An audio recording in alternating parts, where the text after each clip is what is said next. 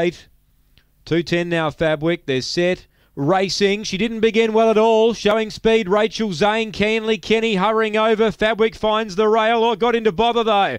So a couple of the big guns are out of business here, it looks like. Fabwick's dropped back and Kenley Kenny looks like it's broken down. So Rachel Zane left six in front of Victor Dora. Running on them was Nation, spotting the leader about seven. A gap away to Springbridge and Fabwick. It might be a boil over. Rachel Zane led. Running on Victor Dora. Nation's getting busy late. Victor Dora, Nation's out wide. Nations! Oh, he might have arrived in time. Victor Dora in a photo with him. Third a photo as well, Springbridge or Rachel Zane. Uh, the aces. Fabwick got into bother. Canley Kenny looks like it's broken down. It's a photo finish, and Nations will get it. Number eight. Or uh, number three, I should say, will get it. Nations. Nations gives them a start and gets up. Huge run. Huge run. Eight second Victor Dora and one third Rachel Zane. Four is four Springbridge, and what a finish.